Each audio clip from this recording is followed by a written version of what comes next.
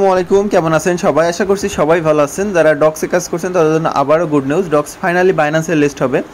বাইন্যান্সের list হবে, সেই সাথে বাইন্যান্সে ডিপোজিট করার জন্য আপনারা এক্সট্রা বিশ হাজার করে ডক্স টোকেন আর্ন করতে পারবেন অনেকে আগে বাইবিট বা বিট গেটস অনেক এক্সচেঞ্জে ডিপোজিট করে ফেলেছেন, তারা কীভাবে বাইন্যান্সে নেবেন সেটা আমি আজকে ভিডিওতে দেখাবো। সেই সাথে বাইন্যান্সে কবে লিস্ট হবে সেটাও জানাব। বাইন্যান্সের লঞ্চ পুলের মাধ্যমে আর্নিং করতে পারবেন, সেটা আমি নেক্সট ভিডিওতে জানাব। বাট আজকে ভিডিওতে কীভাবে ডিপোজিট করবেন, সেই সাথে কীরকম সিস্টেম আমি সব কিছুই দেখাবো। ওরা কিন্তু নিজেরা অ্যানাউন্সমেন্ট করেছে বাইন্যান্সের ভিতরে যারা ফার্স্ট পাঁচ লাখ ইউজার ডিপোজিট করবে, তারা কিন্তু বিশ হাজার করে ডক্স টোকেন পাবে, দশ হাজারও পেতে পারে আপ টু যেখানে লেখাই আছে ওকে তো চলেন দেখি এমন কীভাবে ডিপোজিট করতে হয়। ফার্স্ট অফ অল বাইন্যান্স অ্যাপ্লিকেশনটা ওপেন করবেন, করার পরে এখানে ডক্স লিখে সার্চ দিবেন ডিপোজিটে যে ডক্স লিখে সার্চ দিবেন ডিও জিএক্স ডক্স কিন্তু পাবেন না, আপাতত ডক্সটা অ্যাভেলেবেল নয় তো আপনারা যদি টোন লিখে সার্চ দেন টোন যেটা আছে, এটা লিখে যদি সার্চ দেন টোনের যে মেমো আর যে অ্যাড্রেস এটা একটু খেয়াল রাখেন, দেখতে পাচ্ছেন এখন যদি আমরা অন্য যেটা আছে, আমরা সাপোজ নট লিখে সার্চ দিলাম নট কয়েনও কিন্তু টোন নেটওয়ার্কের এটার, এটাও কিন্তু সেম ওকে সেক্ষেত্রে আমরা ধরতে পারি যে ডক্সের ওটাও সেম হবে বাট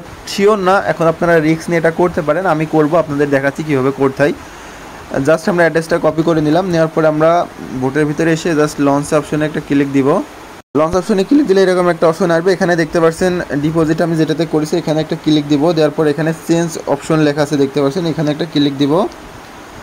ক্লিক দেওয়ার পর এখান থেকে এক্সচেঞ্জ সিলেক্ট করে কন্টিনিউ করে উপরে বাইনান্স সিলেক্ট করব দেন এখানে আই হ্যাভ লিখব, তারপরে এখানে ডক্স অ্যাড্রেস আছে ওকে তো আমরা টোন অ্যাড্রেসটা এখানে জাস্ট কপি করে নিব, নেওয়ার পরে এখানে এটা পেস্ট করব, তারপরে এখানে আপনারা মেমোটা কপি করে এখানে পেস্ট করবেন ওকে